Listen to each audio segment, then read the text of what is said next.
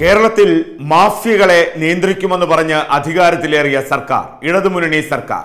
പ്രത്യേകിച്ചും അതിന്റെ മുഖ്യമന്ത്രി സ്ഥാനത്തേക്ക് പിണറായി വിജയൻ കടന്നു വരുമ്പോൾ കടന്നു വന്ന് വന്നപ്പോൾ അദ്ദേഹത്തിന്റെ തന്നെ വാക്കുകൾ അവതാരങ്ങളെ ഒരിക്കലും താൻ പിന്തുണയ്ക്കില്ല എന്നും തന്റെ മന്ത്രിസഭ പിന്തുണയ്ക്കില്ല എന്നുമായിരുന്നു. പക്ഷേ ഫ്ളാറ്റ് മാഫിയയുടെ അഴിഞ്ഞാട്ടം സംസ്ഥാനത്ത് നിലനിൽക്കുന്നു എന്നുള്ളതാണ് വസ്തുത. ഫ്ലാറ്റ് മാഫിയ എല്ലാ തരത്തിലും കേരളത്തിലെ സാധാരണക്കാരെ പിടിമുറുക്കിയിരിക്കുന്നു എന്നുള്ളത്. കേന്ദ്ര നിയമം ഇക്കാര്യത്തിൽ വ്യക്തമായ നിയമമുണ്ട്. ഫ്ളാറ്റ് മാഫിയയെ ഏതു തരത്തിൽ തടയണം എന്നുള്ളതിനെ സംബന്ധിച്ച് കൃത്യമായ റൂൾസ് ആൻഡ് റെഗുലേഷൻസ് സെൻട്രൽ ആക്ടുകളിൽ അഹ്, ക്രോഡീകരിച്ചിട്ടുണ്ട്. അതുപ്രകാരം സംസ്ഥാനത്ത് നിയമം പാസാക്കേണ്ടതാണ് ഒരു സംസ്ഥാന സർക്കാരിന്റെ കടമ. എല്ലാവിധ മാഫിയ പ്രവർത്തനങ്ങളും അവസാനിപ്പിക്കുമെന്ന അധികാരത്തിൽ വന്ന ഇടതുമുന്നണി സർക്കാർ. പ്രത്യേകിച്ചും മുഖ്യമന്ത്രി പിണറായി വിജയൻ. മൂന്ന് വർഷം പൂർത്തിയാക്കി നാലാമത്തെ വർഷം കടന്നിരിക്കുന്നു. നാലാമത്തെ വർഷത്തിന്റെ പ്രോജക്റ്റ് ജനങ്ങൾക്ക് മുന്നിൽ അവതരിപ്പിക്കുന്നു. മൂന്ന് വർഷത്തിന്റെ പ്രോഗ്രസ് റിപ്പോർട്ട് അവതരിപ്പിക്കുന്നു. പക്ഷേ സംസ്ഥാനത്ത് വർദ്ധിച്ചു വരുന്ന ഭീകരമായ തരത്തിൽ വർദ്ധിച്ചു വരുന്ന ഫ്ളാറ്റ് മാഫിയെ നിയന്ത്രിക്കുന്നതിന് ഒരു നടപടിയും എടുത്തിട്ടില്ല എന്നുള്ള വസ്തുത ഏറ്റവും ദുരൂഹമായി നിലനിൽക്കുകയാണ്. ഈ ഫ്ളാറ്റുമായി ബന്ധപ്പെട്ട് ഫ്ലാറ്റ് മാഫിയകൾ തടിച്ചു കൊഴുക്കുമ്പോൾ അതിന്റെ കമ്മീഷൻ സർക്കാർ തലത്തിലും അതോടൊപ്പം രാഷ്ട്രീയ പാർട്ടി നേതാക്കൾക്കിടയിലേക്കും പോകുന്നു എന്ന ആക്ഷേപവും ശക്തമാകുന്നു. നോക്കൂ ഒരു ഫ്ളാറ്റിലെ ഫ്ളാറ്റ് വാങ്ങാനായി ഒരു സാധാരണക്കാരൻ കടന്നു ചെല്ലുമ്പോൾ അവൻ അനുഭവിക്കേണ്ടി വരുന്ന പ്രതിസന്ധികൾ. അത് എഗ്രിമെന്റുമായി ബന്ധപ്പെട്ട് കരാർ ഒപ്പുവെക്കണം പക്ഷേ എപ്പോഴും ഫ്ലാറ്റ് മാഫിയയെ സഹായിക്കുന്ന തരത്തിലുള്ള നിബന്ധനകൾ ഉൾപ്പെടുത്തിക്കൊണ്ടുള്ള കരാറുകളാണ് യാഥാർത്ഥ്യമാകുന്നത്. സാധാരണക്കാരന് ഒന്നും ചെയ്യാത്ത അവസ്ഥ വരുന്നു. കേന്ദ്ര നിയമം നിലനിൽക്കെ കേന്ദ്ര നിയമത്തെ പിൻപറ്റിക്കൊണ്ട് സംസ്ഥാനത്ത് നിയമം ഉണ്ടാകണം അങ്ങനൊരു നിയമം ഉണ്ടായാൽ മാത്രമേ ഇത്തരം മാഫിയ പ്രവർത്തനങ്ങൾക്കെതിരെ തിരിച്ചറിവുണ്ടായി പ്രതികരിക്കുന്നവർക്ക് നിയമപരമായ സംരക്ഷണം ലഭിക്കൂ.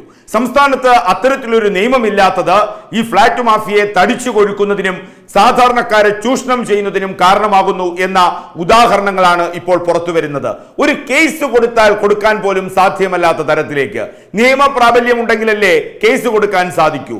അതുപോലും ഇല്ലാത്ത തരത്തിലേക്ക് ഫ്ളാറ്റ് മാഫിയെ കയറൂഴിവിടുന്ന സംസ്ഥാന സർക്കാരിന്റെ കെടുകാര്യസ്ഥത വിമർശന വിധേയം ആകുന്നുണ്ട്.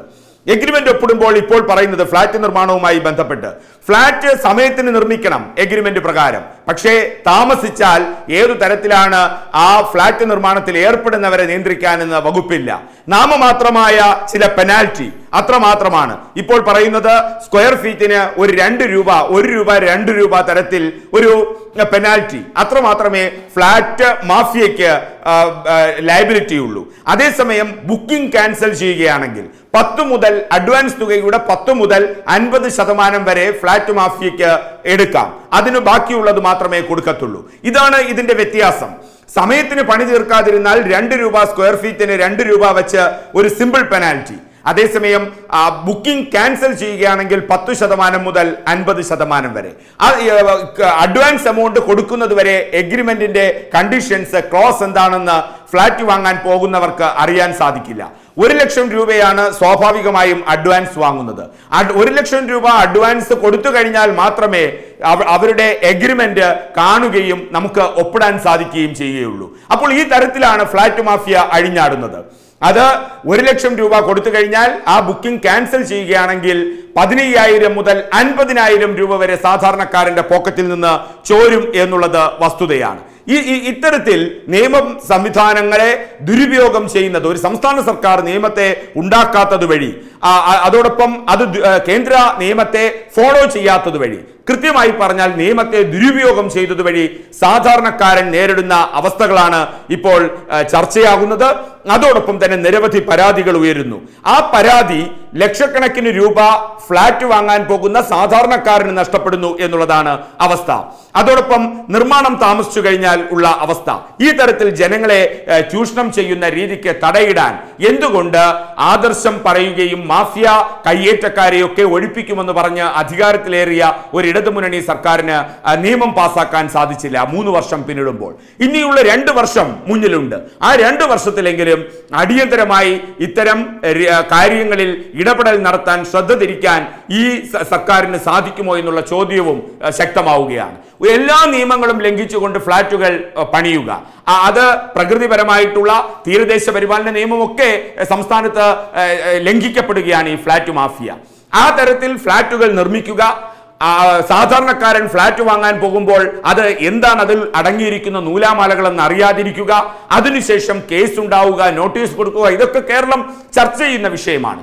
ഈ വിഷയത്തിൽ ഈ ഫ്ളാറ്റ് മാഫിയെ നിയന്ത്രിക്കാൻ പിണറായി വിജയൻ സർക്കാർ പരാജയപ്പെടുന്നത് എന്തുകൊണ്ടാണ്? രാഷ്ട്രീയ കമ്മീഷൻ രാഷ്ട്രീയ പാർട്ടികൾക്ക് കമ്മീഷൻ ലഭിക്കുന്നത് കൊണ്ടാണോ? ഉദ്യോഗസ്ഥർക്ക് കമ്മീഷൻ ലഭിക്കുന്നത് കൊണ്ടാണോ?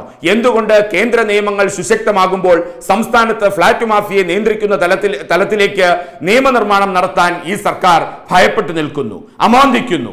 എന്താണ് ഇതിനു കാരണം? അത്തരം ചോദ്യങ്ങൾ ഉയർത്തുകയാണ് സാധാരണക്കാർ.